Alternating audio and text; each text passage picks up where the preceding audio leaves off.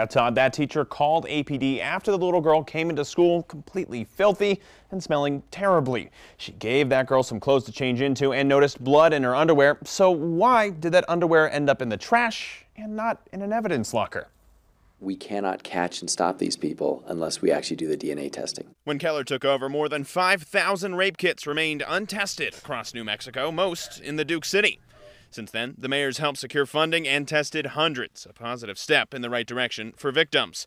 But a more recent case then has been grabbing headlines and shocking New Mexicans. A seven year old girl allegedly sold for sex by her parents. Left me with more questions than answers. A police report in this case says APD and CYFD responded to concerns from a teacher that a seven year old girl was being abused. That teacher found blood in the little girl's underwear, but. The cop threw the panties in the dumpster. What? So today I asked why. No disclosure was made by the teacher of a crime that was committed no disclosure by the child, and we had an incident call. So that officer made a determination through vetting it with crimes against children that that underwear was not going to be tagged into evidence because there was no crime committed at that point. APD is saying that neither the little girl nor the teacher directly said there was a crime.